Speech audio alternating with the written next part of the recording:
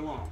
One of the hitting training aids I like to use, and when I was first learning Kali, I used a lot, was just using the door and the edge of this door here as a target. Sort of like a Mook Jong, a wooden dummy. I can use that as a target when I'm doing all of my stroking drills, when I'm working Escala patterns, heaven or earth grip. I can also add some footwork to it where I'm going to work that female triangle on either side of the door. What's nice also, if you thrust one and thrust two, it's that thrust and disengage, thrust and disengage. The three, the four, and the five. You'll find those door handles right around waist level are perfect for your angles three and four.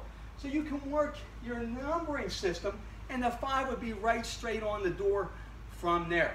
What I really like is being able to use that door to train that trap hand, like in our guntings, where I'm doing my inward gunting and backhand gunting. This gives me a little feel as I work it. Inward gunting, backhand gunting. This would be like for the angle three coming in, I'm going to parry and pass, parry and slash right from there. Whether the hand's on top or on bottom. I can imagine the angle one coming in. I parry and slash. Parry and slash the two. The three comes in. The four comes in. Five once, five twice. I can then go parry and slash and thrust. Parry and slash and thrust. Here. This is our progression at the academy, so it gives me a chance. I can also thrust and then slash out as I trap, much like our Ponastas slope, where I thrust the one, they slash up on the arm. When they go to attack the two, I parry or block, thrust the two here, and then good thing back out. So the door can be used in a variety of ways with the dagger. So try it out.